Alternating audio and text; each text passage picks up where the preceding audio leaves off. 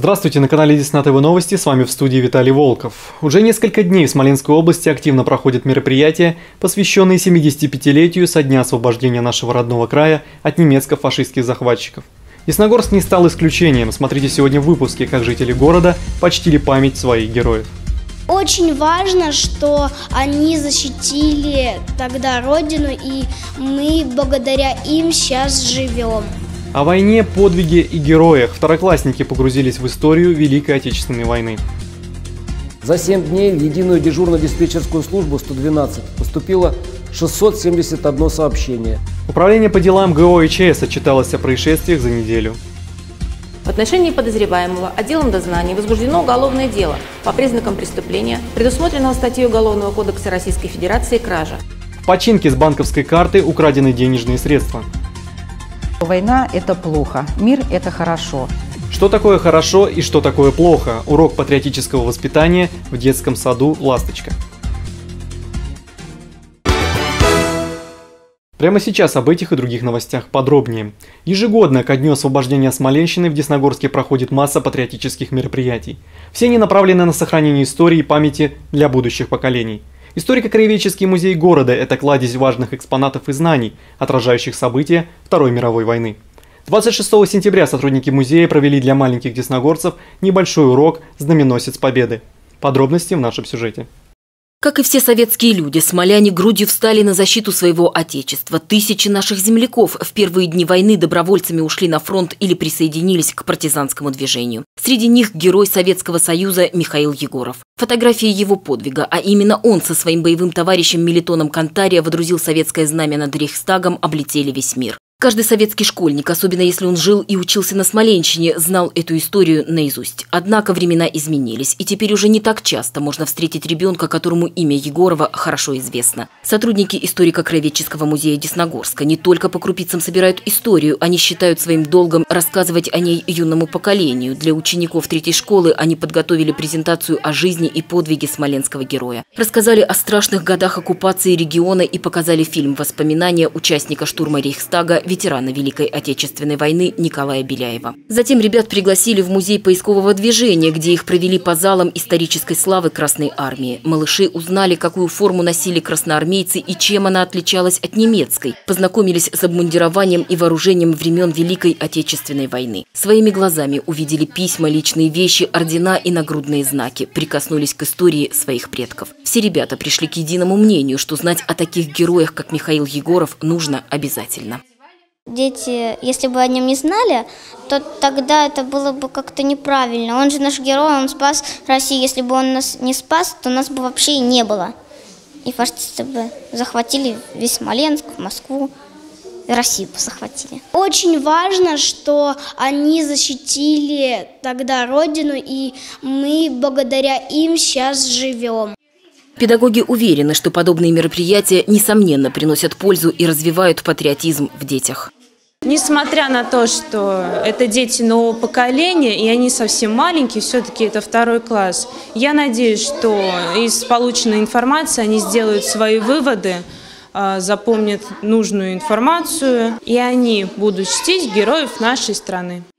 Школьники с большим интересом слушали и впитывали историю своей страны и родного края, все больше погружаясь в те далекие и страшные времена. В этот день каждый из них осознал, насколько важно помнить прошлое, чтобы не повторить его в будущем. Светлана Разганова, Юлия Соболева, Десна ТВ. В 2019 году россиян ожидает повышение цен на одежду и обувь на 5-20%. Главные факторы, влияющие на подорожание, ослабление рубля и грядущее повышение НДС с 18 до 20%. Отмечается, что цены на указанные товары обычно растут с определенной отсрочкой, так как это не товары первой необходимости. В случае увеличения расходов на базовые продукты люди начинают экономить на гардеробе, поэтому бренды откладывают повышение цен на одежду.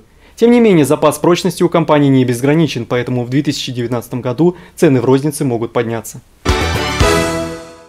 О чрезвычайной обстановке в городе за прошедшую неделю нам рассказал начальник управления ГОЧС по Десногорску Андрей Воронцов. На прошлой неделе на территории муниципального образования спасатели поискового спасательного отряда Управления по делам ГОЧС города Десногорска привлекались для проведения работ по вскрытию дверей два раза, по оказанию помощи скорой два раза. За 7 дней в единую дежурно-диспетчерскую службу 112 поступило 671 сообщение, из них 248 ложных. Поступило просьб от населения 6, из них отработано 5, переадресовано 1. Житель Починка украл 11 тысяч рублей из банковской карты при помощи мобильного телефона. Детали произошедшего смотрите в нашем сюжете. Жертвой мошенника стала 70-летняя местная жительница. В ходе беседы с потерпевшей стражи порядка установили, что накануне она распивала спиртные напитки в компании молодых людей. После застолья женщина увидела, что у нее пропал мобильный телефон, а проверив банковский счет, обнаружила пропажу денег, после чего обратилась за помощью в полицию. Сыщики выяснили, что краже причастен ранее судимый 20-летний житель Починка, которого задержали по месту жительства. В ходе допроса злоумышленник признался в содеянном, пояснив стражам порядка, что воспользовался моментом, когда женщина уснула, похитил средства связи и перевел через мобильное приложение деньги на свой счет, который впоследствии обналичил и потратил на свое усмотрение. В отношении подозреваемого отделом дознания возбуждено уголовное дело по признакам преступления, предусмотренного статьей Уголовного кодекса Российской Федерации «Кража». Санкция данной части статьи предусматривает максимальное наказание в виде лишения свободы на срок до 6 лет. Задержанному избрана мера пресечения в виде заключения под стражу. Минтруд планирует отказаться от термина «инвалиды» и заменить его другим. Данное слово хотят заменить термином, в полной мере отражающим правозащитную модель госполитики в отношении людей с ограниченными возможностями.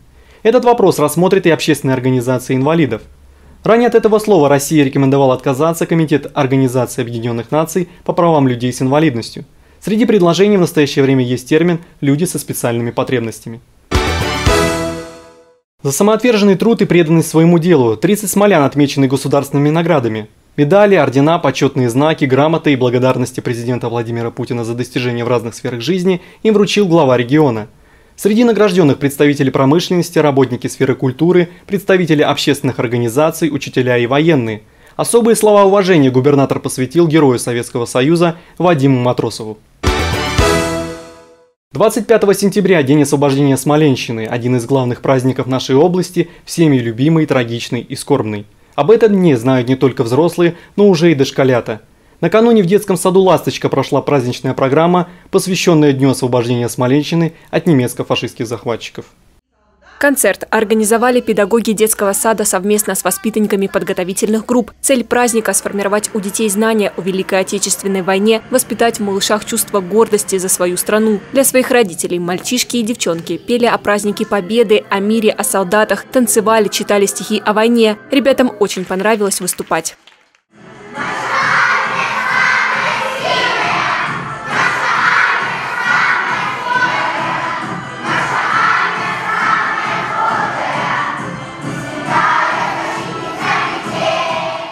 Мне понравилось, потому что тут были красивые танцы и песни. Мне понравилось, как мы танцевали танец «Граница».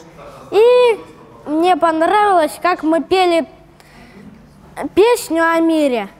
Память павших воинов, гости праздника и малыши почтили минутой молчания. Музыкальный педагог детского сада «Ласточка» Елена Забабурина рассказала о том, почему необходимо знакомить малышей с такими событиями истории уже с раннего возраста. Это мероприятие прививает детям любовь к своему, к своему родному краю, а, к своей родине. Ну и самая главная цель, наверное, чтобы помнили наши дети о том, что война – это плохо, мир – это хорошо.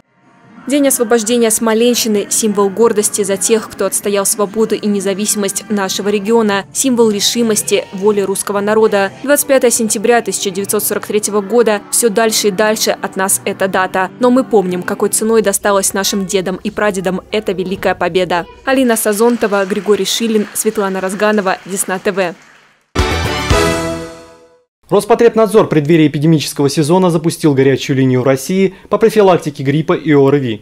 Об этом сообщает пресс-служба ведомства. Отмечается, что с 1 по 15 октября специалисты управления Роспотребнадзора в российских регионах по телефонам горячей линии и специальных пунктах будут консультировать население по различным вопросам, касающимся профилактики гриппа.